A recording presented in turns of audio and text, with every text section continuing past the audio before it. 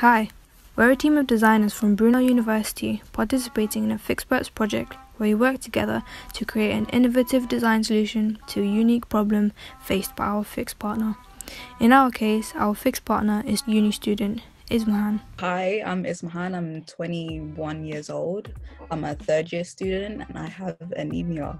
With our first meeting and discussion with Ismahan over Zoom, we discovered the key issues she faced as a result of her anemia. I wake up mostly very tired and super dizzy, and my hands and feet are mostly cold. I type a lot because I am a third year student, so I'm always on some sort of device. So you said like your hands get cold. Like when you're typing, is that an issue? No, 100%. They like slow me down when I'm typing. After listening to Ismahan's daily routine with regards to her lifestyle, our team quickly began to brainstorm ideas to tackle what we consider to be the key niche problem. With the brainstorming done and keeping the key insights in mind, we set about coming up with ideas, exploring these possible solutions, and expressing our thoughts visually to present to each other for feedback. We met to evaluate our preliminary designs. After selecting the most viable and useful, we set about creating initial prototypes on which we conduct empathy testing and further evaluation on how well they prevented or remedied Ismahan's problem.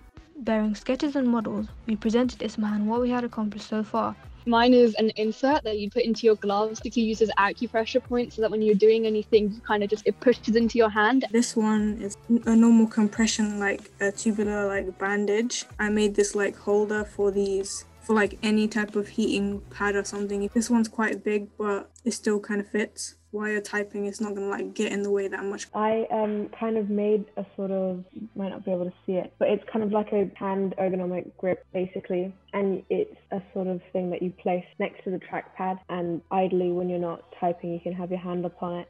And then underneath, like cut open, it is um, a place where you could put like little warm packs, either microwavable or anything like that. I had to make out of cling film and cardboard because I'm stuck in a uni room. So I tried putting two different light bulbs on the inside. There's a small halogen lamp one here and then like a bigger one. So I was thinking that could be used as lighting as well because you put your hand underneath. These Macs where you put them either side of your keyboard basically and there's a wire in between them and it draws power by USB so you just plug it into your laptop like it's three layers so the bottom layer is kind of like molded to your arm so it sits in quite comfortably and then the middle layer is the heat mat element and then the top layer is like fabric so in the final product you could choose kind of what fabric you wanted and they just sit either side of your mouse pad and then the wire goes just above it. We then asked Ismahan to choose her favourite design. Most likely something that would be attached to the side of the trackpad would be the most effective. We further developed the final product incorporating Ismahan's feedback. The improved product was then sent to her for final thoughts.